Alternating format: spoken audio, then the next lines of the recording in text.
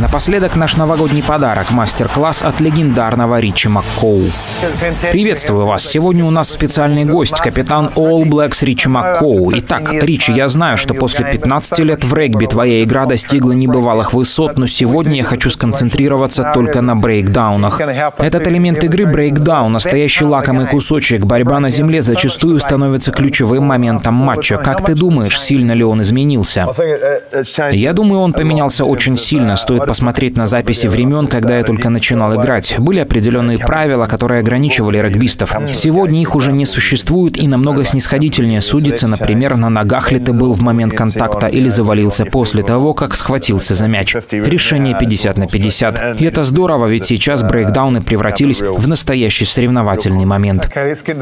Все очень жадно борются в раке, чаще до его формирования. Борьба включает в себя агрессивную защиту. Я хочу поговорить о парочке ситуаций на поле с участием участием твоей команды. Вот вы получили мяч. Рид принял его, пожонглировал и ушел на землю. Защитники вдвоем в зоне захвата, но еще не на мяче. О чем ты думал в этот момент?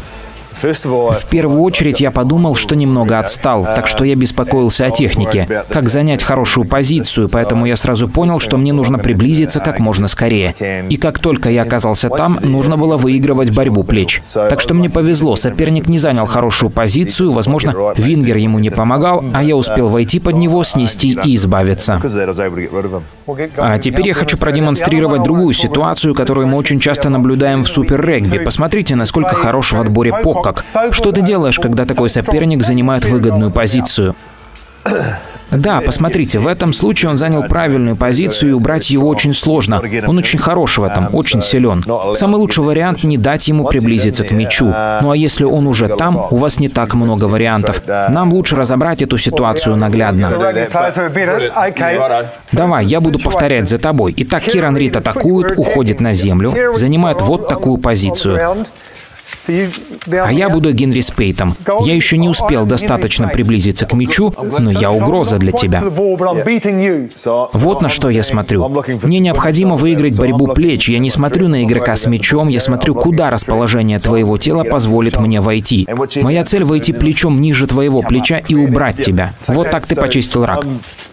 Но если бы я смотрел на мяч и на лежащего игрока, то пошел бы накрывать и проиграл бы борьбу, а ты успел бы к мячу. Так, а теперь рассмотрим второй сценарий. Покок занял превосходную позицию и уже почти контролирует мяч. Такие моменты мы часто наблюдаем в противостояниях. Сколько существует вариантов развития и как бы ты чистил рак, когда такой сильный соперник, как Покок, над мячом? Когда он уже в такой позиции, очень сложно выиграть борьбу плеч. Мне пришлось бы уйти слишком низко под него. Поэтому я бы обхватил его вот так. Видите, мне сложно его столкнуть. Поэтому в такой ситуации единственная возможность убрать его с мяча, убрать в сторону или перекрутить в бок через себя.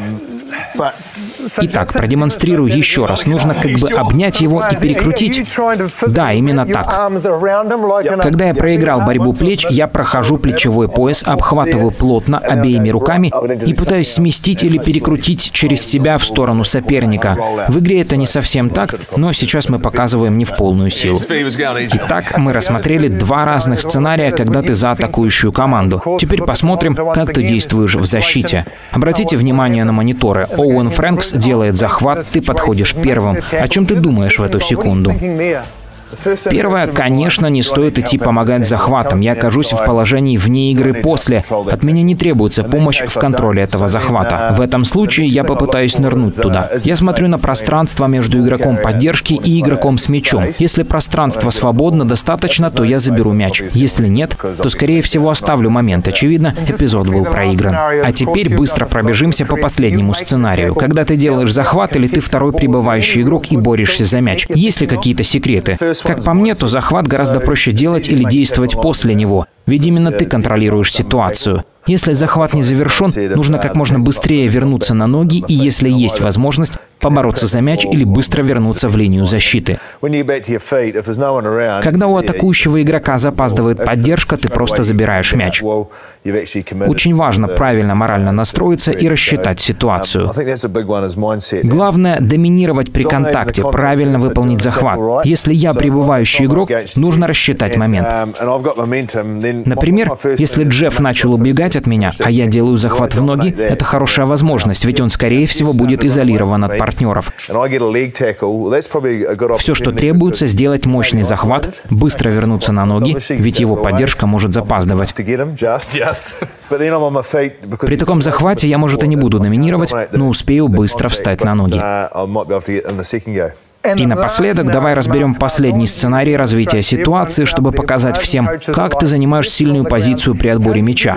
Джефф будет на земле. Как располагать ноги, чтобы выиграть мяч? Итак, я первым прибываю к месту захвата. Оцениваю ситуацию, вижу пространство между собой и поддержкой. Все на пользу мне. Я вижу мяч и успеваю к нему. Для меня удобно расставить широко ноги и крепко опереться на них. И как нам великолепно продемонстрировал Пока, нужно постараться занять более выигрышную позицию. Если я буду просто тянуться руками, я легко проиграю борьбу плеч и меня почистят. Поэтому я хочу как можно ниже нагнуться, согнуть колени и потом хватать мяч. Так что соперник, если будет чистить рак, то пролетит сверху меня. Это идеальный вариант. Давай, Джефф, поднимайся. Вот мы и стали свидетелями пятиминутного мастер-класса по брейкдаунам от настоящего зверя в своем деле, капитана All Blacks Ричи Маккоу.